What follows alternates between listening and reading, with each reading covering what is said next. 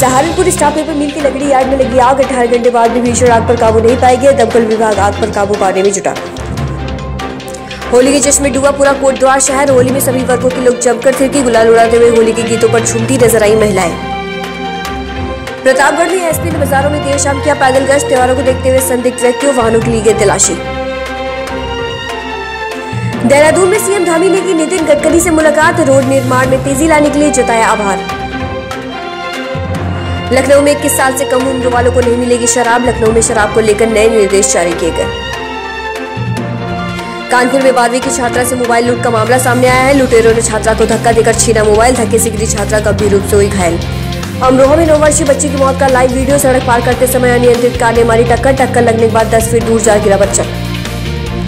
लखीमपुर में तमीचे से फायरिंग करते हुए वीडियो वायरल। युवक ने अवैध असले से की ताबड़तोड़ फायरिंग। फायरिंग का वीडियो हुआ वायरल।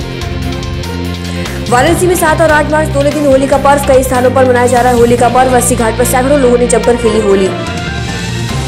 मिर्जापुर में दबंगों ने फूकी गरीब की झोपड़ी आग लगने से झोपड़ी जलकर हुई खाक। झोपड़ी में आग लगने का वीडियो हुआ वायरल।